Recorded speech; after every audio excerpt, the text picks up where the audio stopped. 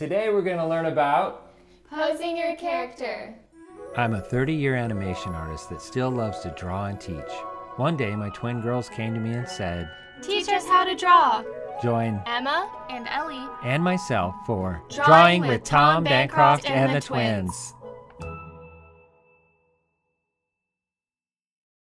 All right, so welcome back. Uh, it's Tom Bancroft, and this is Emma and Ellie. Hello, girls. Hello. So we're in episode four. Okay, Yay, so we made it. I know we made it. We're doing it.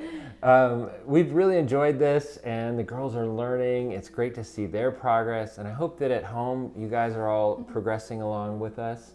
And I know the girls are oftentimes going, "Oh, I hate that drawing," and believe me, I'm feeling the same way. Sometimes when I do these demos, that I'm just trying to go fast and get the idea across, and so that happens. But right now, we're just talking about the concepts. And really, that's what I'm hoping everybody gets out of this. And I hope that's what you guys are getting out of this is just learning some concepts, right, that are going to make you a better artist.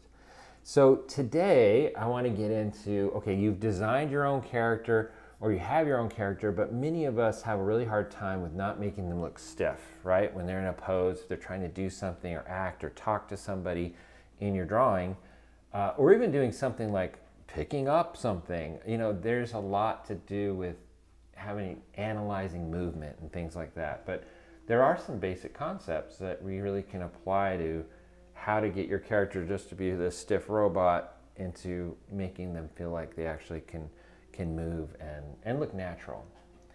So that's what we're doing today. We're going to help push posing your character. So we're going to start with a really basic character, and uh, and then uh, um, so and I hope you use the basic character at home too.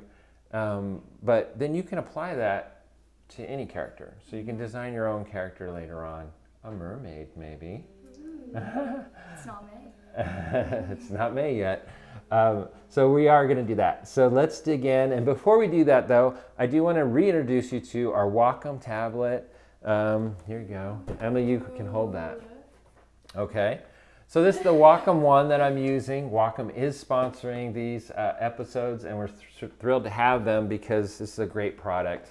And it's a great digital tablet so that I have it plugged into my laptop here. Um, so I have Photoshop running, and then I can draw on this and, and have it be digitally created in Photoshop. Um, and so it's a really professional setup, and this is uh, the Wacom One is is a, a really low cost version of that. So um, do look into that. Go to Wacom.com. Um, the girls, though, are going to be drawing with pencil and paper, just like from episode one. We talked about pencils. Yes. What kind of pencil you got there? A 2B. 2B. All right. And just a regular white eraser. I make them share it because we couldn't find another one. Because I rarely erase. I just don't like to erase. It's not that I'm good. I'm just saying I don't erase much. Okay. But I am good. But anyway, we can cut that out.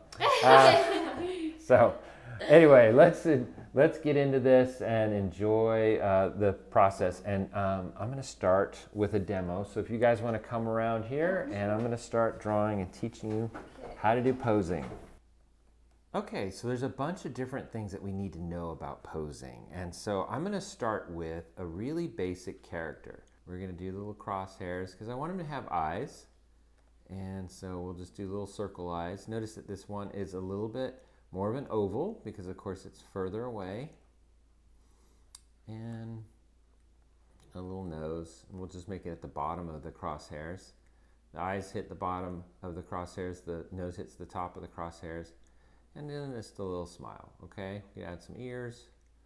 And we're gonna call this guy, I think, Toby. I'll write that here, Toby. But notice his torso is like a bean shape. You know, um, it's a little wider at the bottom, a little straighter on the back, but not completely straight, and a little rounder in the front. And then I'll put where his waist would be. Would be right about here, kind of low. Uh, you can put little shoulders here, uh, just circles, and then this can be just barely above a, a like a stick figure here, um, arm. And then on both sides here uh, is where I want to put those joints for my legs, okay? And again, they're about the same. They're sort of like just a sketchy tube. And then let's go circle uh, simple on the feet, which would be a little bit flat on the bottom and kind of round on the top. So this is basically Toby, and again, I to put his hands on. And, I, and I'm just going to do mittens, basically. So it'll be a thumb and a mitten kind of a thing. Thumb and sort of a flat palm, like a little, okay? So that'll do. Okay, so that's Toby. And what that'll give us is just very simple shapes. And so now like, let's uh, remember Toby here, but I wanna start adding to that uh, thought process and um, start adding now some suggestions that we wanna think about. So the first thing on posing is that I want you to remember that our torso here is uh, has where we do most of our bending, or most of our poses. The key of it is that torso shape, that bean shape. And so I want you to think about these concepts, which is, is that core, uh, torso concave or convex? And now what that means is, I think I spelled those right, is that that can bend. And so I want you to think about uh, that, uh, that as a pliable shape. And so here's like a convex is if he were to say be sad and now we're going to throw those arms forward and they're just hanging there and we're going to bend his legs a little bit right and we don't even have to see the face but obviously he's he's upset and sad right because we've done this and convex think of um, i'm sorry concave this would be concave think of that as like the back and everything caving in. Okay, so that's how you can kind of remember that that's concave. All right. Now convex, it would be the opposite, right? So that's going to be throw his back back and really bend that torso. And now he's king of the world. He's super happy. Um, and he is ready to take on the world. His arms are back. Uh, maybe this one is on his on his waist here a little bit more and his legs are back too. He's in a superhero pose or something. But you know, that is now con convex. So concave and convex. And that's really just has to do with creating this nice flow in that uh, torso. Now the next concept is, again, with the torso, is that I want you to think about is, uh, let me turn this one off, is, with Toby again, uh, that there's tilts and twists, and this is a big one that a lot of people forget, um, is that tilts and twists, I can't spell and talk, and twists, okay. So tilts and twists, now that's still using this core again, um, and but we want to think of that as a dimensional surface, so that if say we want to get Toby to sort of stretch and reach for something, and we're going to change his, his uh, expression just a tad. And he's going to be, you know, kind of straining to get, re, you know, reach something. Okay, so now let's draw his, his core. Now I want to be able to create a twist. So because he was standing there, hold on, let me just erase this real quick. Went down the wrong road for a second. See, I do erase.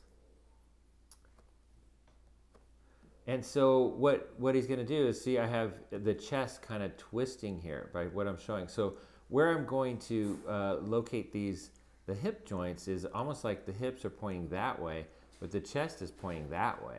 And so now I get to have him kind of, that arm way out here. He's reaching for something. And then he's going to throw this arm back probably. Look how simple I'm creating this. Um, and then this, this leg might be sort of uh, bent a little bit. But this leg we're probably going to want to have go a little straighter because this is going to help him with that stretch.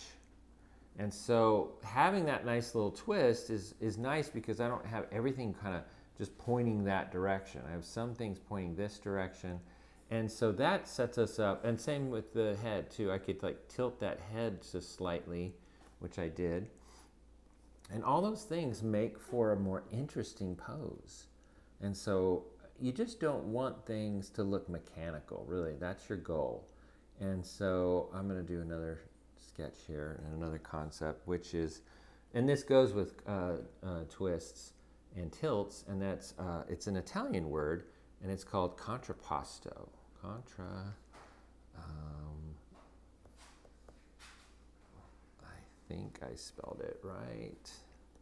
Okay, that's a hard one. But contrapposto is a concept about, and this goes back to Michelangelo and the, and the old masters. And what they discovered is that if we're standing in place, say, uh, and here's Toby, and he's just sort of standing there uh, listening to someone, say, um, that, you know, will make him look kind of bored, huh?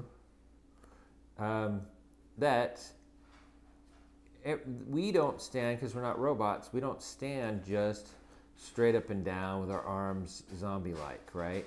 Um, sorry, that's my dogs. What we do is that we shift our weight. We, it, we immediately get kind of tired and, and we want to shift our weight. So what we'll do is we'll, we'll slightly uh, tilt our, uh, our weight. And so now that I slide that that way and see now I shift my shoulder down, this one's going to hang a little bit uh, lower, this one's going to hang just a little higher, and then now I'm going to have more of a straight leg here on that leg, and this leg will probably get thrust out a little bit more forward, and I get this sort of S curve going through the body rather than a straight line. And that's contrapposto. I mean, you see that uh, you know, when models pose and things like that, you know, they're always like, you know, putting their arm up. Imagine this is this is not supposed to be Toby right now, uh, but they're kind of, you know, uh, thr thrusting their hips out. Imagine this is a, a bathing suit, um, and maybe this hip, this hand is on this hip, and this is a very contrapposto because of the tilt of that shoulder and the, the tilt of this waist. And so this leg is going to be a little bit straighter and that leg is really going to be thrust out here, right? And that gives you a really nice contrapposto. And so when you throw that with tilts and uh, tilts and um, and twists, and then thinking of convex and concave, you're really starting to get a lot more movement out of uh, out of your drawings, um, and you're starting to get poses that aren't so stiff and straight up and down like my original Toby sketch right there. Um, so that's the goal: is to try and get as much life in here. And we got we remember remember that that drawing of that uh, I think it was Michelangelo did that you know of the guy and his hands here and he, he has multiple arms and he's got multiple legs. And he, you know, basically what it's showing is this range of motion. And so we do have that where we can only go so far with uh, how far our, our arms and our, our legs can, uh, can reach. And that, what that does is you gotta, you gotta remember that. Um, and if you don't, then you're gonna look, it's, your characters are gonna look odd. And that's really when you need to go, okay, I need to, I need to move this, my core. If I'm making my arms and legs do all the work, then I'm really not considering my core. I'm not bending it. And really that's the key is that a lot of people don't bend their torso in their drawings because it ends up adding a little bit more, um, you know, uh, perspective and things that get a little bit harder. But I want you to start thinking that way. Uh, another one is weight and balance. Let's consider that. Um, that things weigh and uh, and that balance is a key issue for your characters to look like they're not going to fall over. And the easiest way to do that is that, um, and I want to introduce this new idea, which is counterbalance. So counterbalance is something that we all do, but we don't even think about it. And so what that means is if I'm going to stand here, or Toby, Toby's standing here, and he needs to reach for something, if it's really close by, he can do this. He doesn't really even have to bend his torso very much. He'd probably bend it a little bit, but really in general, he's going to just sort of reach for it because it's just right within his grasp. Now, if he has to really reach for something, say it's way over here and he starts here, now he's going to do kind of like I did before. he's really going to have to lean over. This is where I'm going to do my convex kind of a torso. And now he's so far over, um, if this was where he started, that, and he's reaching way over here, right? He immediately has to throw this arm out to counterbalance. Otherwise, he would fall over because remember, his weight started here. And so his legs started here too. So that leg is here. Now he's also probably going to throw this leg out. And we do this without even thinking it. But what we're doing is we're basically saying, I need to have about half my weight over here, and I need half my weight over here, because that center line is where I started. And so to do this kind of a position and get that kind of a flow going out that direction, uh, we have to throw some of our weight and shift it out to the other side. And that's called counterbalance. And if we're not thinking about that, um, of really supporting our weight, and really this foot might even go over just a, a little bit more, maybe like me over here. If we're not doing that, then we're going to fall over. And our characters are just not going to look right. People notice that. They don't know what's wrong with it, but they go, oh, that doesn't feel right.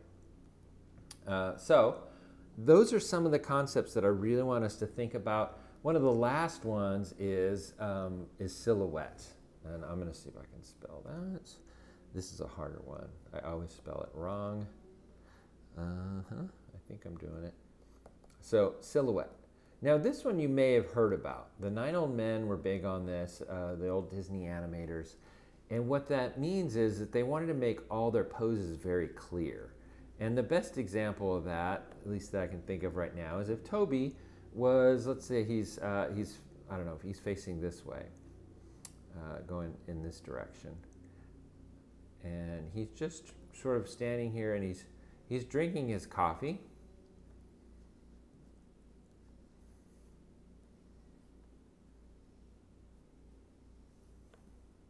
he's talking to somebody or he's listening. This is really, really basic, sorry. Um, and maybe he's holding it too with two hands. Okay. So with silhouette, what the idea is is that this pose, while it looks okay and it reads all right, and everybody probably would understand that there's a guy here, Toby, standing here holding coffee. Uh, but you, it's not as clear as it could be because the silhouette concept is is that you want to then think of this as if it was all blacked in. And that would be the silhouette, right? It'd be like sort of the paper cutout if it was black paper, the black paper cutout version of, of the pose that you just did. And this is really what it reads like. So if I, if I stood across a room and looked at this pose before it was blackened in like I just did, I would be going, ah, I'm not sure I can make that out, what he has in his hands, right? Or what he's doing exactly. So silhouette does this, is it pushes us to recreate this pose, and I'll, and I'll give the pose maybe a little bit more interest. I'll have him slightly leaning over, as if he's really, uh, really talking to somebody. And um, what I'm really going to want to do is, is really have this, this coffee mug out in a very clear way. I don't need to see all of what his fingers are doing and stuff, but he's holding it like this, say. Right? And then maybe I'll, I'll put this hand on his, on his uh, waist here to really clear that up. This leg, just to make it more interesting, will be a little bit straighter. And this leg could be a little bit more bent. Because again, now I'm also applying a little bit of uh, contrapposto and shifting his weight over a little bit. But now what I've done is when I, when I shade this in, it's the same concept, right? It's still a guy, Toby, holding, holding his coffee cup. Uh, and by the way, I'm just doing horrible drawings today, so I apologize. Um, but what, it's the same idea, okay? But can I go back to the back of a room and look at this pose now and say, yeah, I totally see what that is. That's somebody, I don't know what his expression is anymore, but I know that it's somebody that's casually holding a cup of coffee because the pose feels casual. So that's part of how I'm reading that. But also, I can now see that it's it's coffee that he has in his hand, and that's a big deal because so that helps me to read what is going on. And so that's the heart of silhouette is trying to make very clear poses that can communicate uh, as clearly as possible And so silhouette is one of those things that helps you do that, is to consider that. Okay, girls, well, it's your turn, and I think we need to get you drawing, and I have an assignment for you. Now, Emma on the left, I want you to draw Toby, and you're gonna have him catching a balloon. So the balloon is flying off, and that's the pose I'd like to see you draw. So you can get going.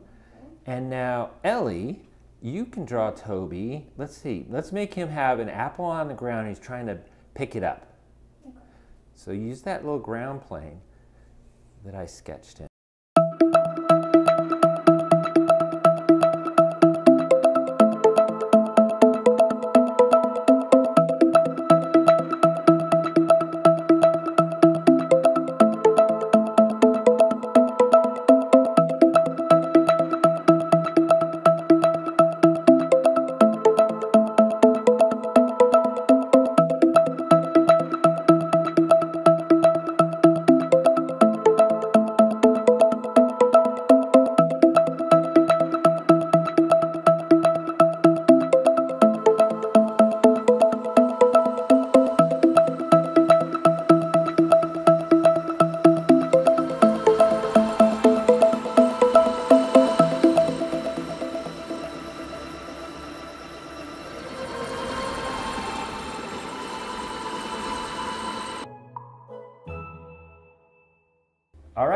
Right, girls. Well, that was fun. Yeah. You guys did a great job. What a challenge. How did you like drawing Toby? Oh, Toby. It was it Toby's was a- hard, but it was good. He's a little cutie, right? Yeah. And you can make anything kind of come to life if, mm-hmm. you know, even basic shapes. So, did you kind of learn a little bit about maybe how to get a character to look like it's coming to life with Yeah. posing? How to twist. Yeah, Never been good at movement, drawing movement, so that. it's super hard. Yeah. Yeah, I know. I've been studying that most of my life, but I do see that every day on Instagram with other artists that they really struggle with that. And so this, hopefully, this lesson is kind of the beginning to get you on that road. Mm-hmm. Yeah. Well, this has been great. I don't know when we're going to do another episode. We might be a little while, but we really enjoyed doing this. And so this has been Drawing with Tom Bancroft. And the twins. Hi, y'all. If you guys enjoyed watching the four episode series, make sure you give it a like and a comment. And maybe we can do some more. Who knows?